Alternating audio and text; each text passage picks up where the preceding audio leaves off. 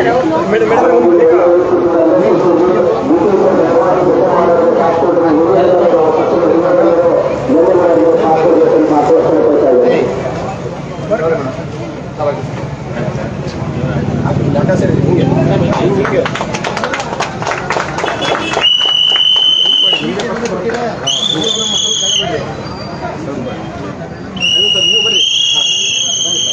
ಬರ್ರಿ ನೀವು ಬರ್ರಿ ಬರ್ರಿ ಈಗಾಗಲೇ ಆರ ಹಾಕಾಗಿದೆ ಒಳ್ಳೇದಾಗ್ಲಿ ಎಲ್ಲರಿಗೂ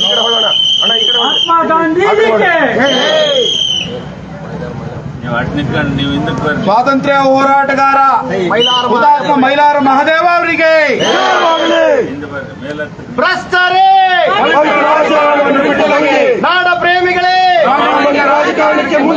ಬಸವಣ್ಣನವರ ಕಲ್ಯಾಣ ಕರ್ನಾಟಕ ಕುವೆಂಪುರ ಕುವೆಂಪು ಅವರ ಸರ್ವೋದಯ ಕರ್ನಾಟಕ ಲಂಚ ಮುಕ್ತ ಕರ್ನಾಟಕ ಕೆಆರ್ಎಸ್ ಪಕ್ಷಕ್ಕೆ ಜೆಡಿಯು ಪಕ್ಷಕ್ಕೆ ರವಿಕೃಷ್ಣ ರೆಡ್ಡಿ ಅವರಿಗೆ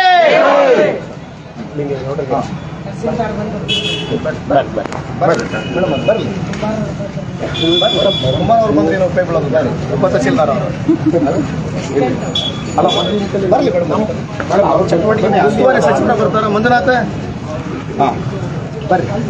ಬಂಧುಗಳೇ. ಲೈವ್ ಇದ್ದೇನೆ. ಬಂಧುಗಳೇ ನಮಸ್ಕಾರ ಈ ಕಡೆ ಸರ್. ಬಂಧುಗಳೇ ನಮಸ್ಕಾರ.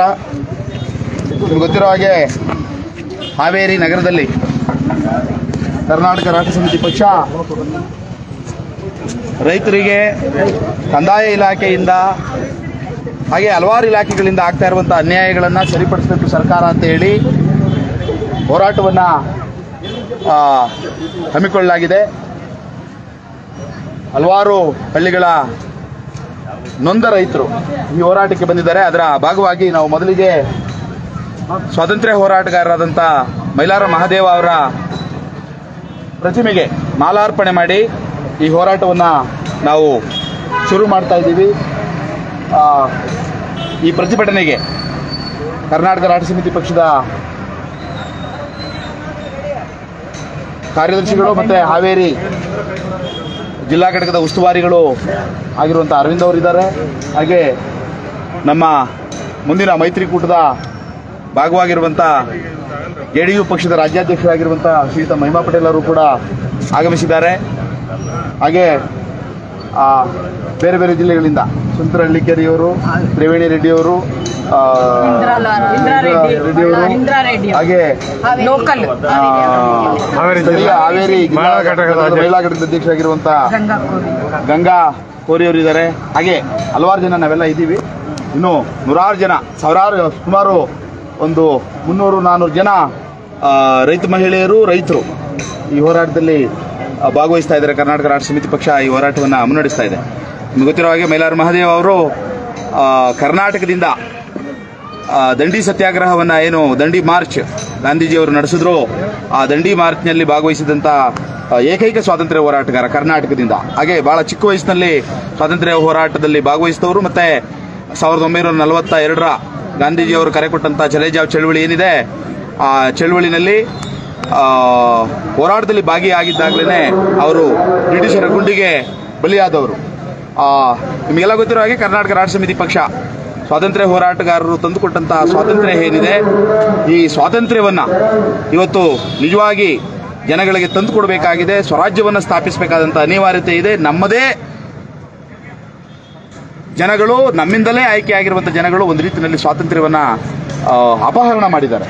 ಹಾಗಾಗಿ ಇದು ಮೈಲಾರು ಮಹಾದೇವ ಅವರ ಪ್ರತಿಮೆಗೆ ನಾವು ಮಾಲೆ ಮಾರ ಮಾಲೆ ಹಾಕೋದ್ರ ಮುಖಾಂತರ, ಹಾರ ಹಾಕುದ್ರ ಮುಖಾಂತರ ಈ ಹೋರಾಟ ನಿಜವಾಗಿ ಒಂದು ರೀತಿಯಲ್ಲಿ ದಮನಿತರ, ಶೋಷಿತರ, ರೈತರ ನಿಜವಾದ ಸ್ವಾತಂತ್ರ್ಯದ ಹೋರಾಟ.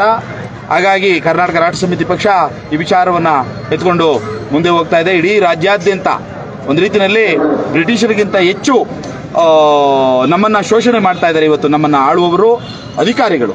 ಹಾಗಾಗಿ ನಾವು ಮತ್ತೆ ಸ್ವಾತಂತ್ರ್ಯವನ್ನ ಪಡಿಬೇಕಾಗಿದೆ. ಈ ಸ್ವಾತಂತ್ರ್ಯ ಹೋರಾಟದ ಮುಖಾಂತರವೇ ಆಗಬೇಕಾಗಿದೆ. ಹಾಗಾಗಿ ಮುಂದೆ ಹೋರಾಟ ಶುರು ಆಗುತ್ತೆ. ಈ ಹೋರಾಟದ ಜಾಗಕ್ಕೆ ಸಂಬಂಧಪಟ್ಟಂತ ಅಧಿಕಾರಿಗಳು, ಡಿ ಸಿ ಅವರು ಬರಬೇಕು. ಇಲ್ಲಿಯ ಉಸ್ತುವಾರಿ ಮಂತ್ರಿಗಳು ಬರಬೇಕು. ಹಾಗೆ ಬೇರೆ ಬೇರೆ ಇಲಾಖೆಯ